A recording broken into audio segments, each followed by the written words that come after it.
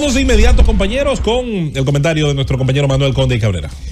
Muy buenos días, muy buenos días a todo el pueblo dominicano. Específicamente quisiera tratar, si nos da el tiempo, tres matices esenciales. El primero, la, llamada concertación o conversación del presidente de la República con el liderazgo de la República Dominicana, sobre todo los que salieron mejor eh, posicionados en las elecciones eh, pasadas. E, específicamente, el llamado que hace el presidente Luis Abinader, primero a Abel Martínez y a Leonel Fernández.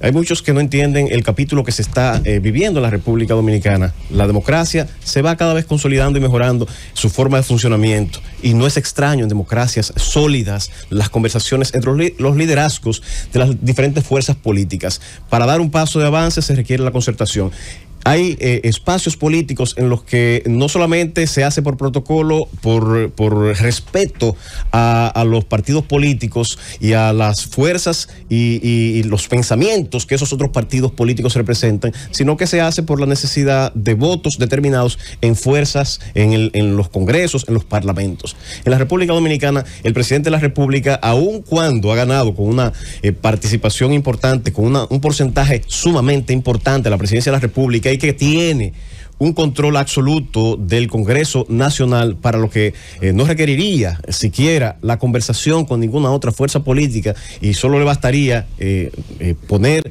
en evidencia su liderazgo que lo tiene sólido a lo interno del partido del que es presidente de la República y el líder más importante, el activo más importante. Él ha decidido otra cosa, ha tenido un gesto de grandeza al momento de llamar tan pronto gana las elecciones al diálogo Abel Martínez y a Leonel Fernández. Hay muchos que quieren criticar a Abel Martínez. Señores, él es miembro de un partido político y se debe eh, a la disciplina de un partido político, pero es un individuo, una persona, que no es cualquier individuo dentro de esa colectividad. Es nada más y nada menos que el candidato, fue nada más y nada menos que el candidato presidencial de una fuerza política importante que fue hegemónica durante muchísimos años, el Partido de la Liberación Dominicana, y que no sacó eh, una votación tampoco insignificante, sacó un por ciento eh, decente eh, aun cuando fue la primera participación que tuvo en ese proceso electoral. Muchos quieren eh, eh, crucificarlo, decir que actuó de forma no estratégica, de forma no apropiada, no, actuó bien. Y a mi juicio actuó como un estadista. Abel, después de las elecciones municipales, tuvo un manejo que no sé qué, chip fue que le, cambiaron o que le metieron, pero comenzó a actuar de manera distinta. Se veía más como estadista eh, esa experiencia que no había reflejado hasta el momento comenzó como a reflejarle ese momento. Yo digo que fue que perdió el, miedo escénico y a partir de ese momento comenzó a dar declaraciones atinadas, tuvo una conducta más apropiada, como la que tuvo cuando aceptó con grandeza eh, recibir al presidente de la República y conversar con él. ¿Cuál es el problema de que se conversen los problemas del país? Está, es más importante un interés particular, partidario, individual, que los intereses del país. Por Dios, una conversación va a ser la diferencia. Ahora quieren crucificarlo. Todos aquellos dentro de ese comité político del PLD que se quedaron sentados y que no hicieron absolutamente nada para que el PLD eh, lograra al menos una participación decente. Por Dios, ¿y esta hipocresía de dónde viene? Todo lo contrario, Abel ha demostrado que tiene madera eh, de estadista. Y su actuación al recibir al presidente de la República así lo demuestra. Leonel Fernández, quieren hacer ahora eh, en la Fuerza del Pueblo la simulación de que le han doblado el pulso. No, Leonel Fernández simple y sencillamente ha puesto los intereses propios particulares y de la Fuerza del Pueblo por encima de los intereses del país, como siempre hace. Lamentablemente esa es la realidad.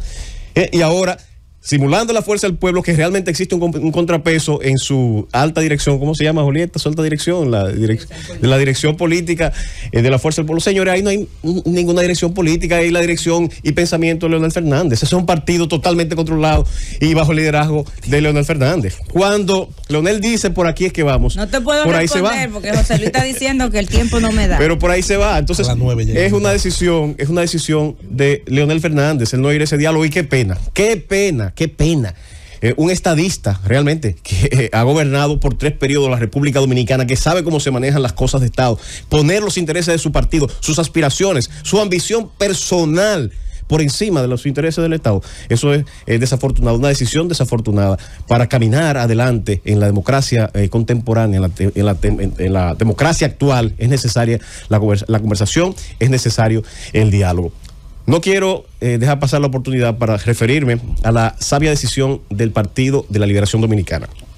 Cuando eligieron a Danilo Medina y a Mariotti en la dirección del PLD, tengo eh, aquí, creo, la moral para decirlo. Dije que se equivocaron.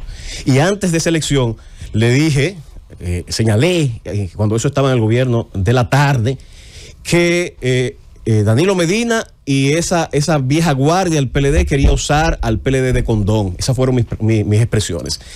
Esa es una eh, eh, decisión acertada del PLD y de Danilo Medina que por fin ha entendido que debe dar un paso atrás. ¿Cómo va a ser un interlocutor válido Danilo Medina, Mariotti y toda esa gerontocracia del PLD frente a realidades actuales? Hacer críticas a situaciones que ellos no solventaron en 20 años que tuvieron en el poder. No tiene legitimidad. Por eso hay una parte importante del voto que no se movió, no pudieron motivarlo porque no tienen la moral para motivarlo.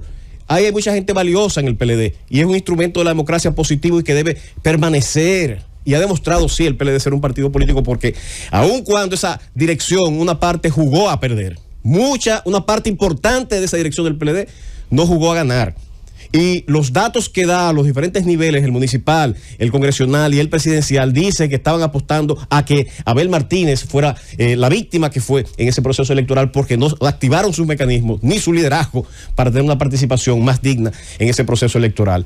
Ahora es el momento de la nueva generación. Eso beneficia, al fin de cuentas, a la democracia, beneficia al país, que sangre nueva venga a hacer una oposición porque eso es sano para el país. No puede haber una sola voz, eso es una dictadura en cualquier eh, escenario. Si no hay un contrapeso, si no hay un discurso disidente, podemos caer en los absolutismos. Aunque el presidente Luis Abinader tiene una alta eh, eh, vocación democrática, ha demostrado ser, y este llamado al diálogo muestra esa capacidad que tiene eh, democrática, no podemos confiarnos, por eso está eh, el sistema de contrapesos que genera el debate, las discusiones, y eso solamente es posible con partidos políticos sanos, fuertes y funcionales. Llévatelo, Cundo.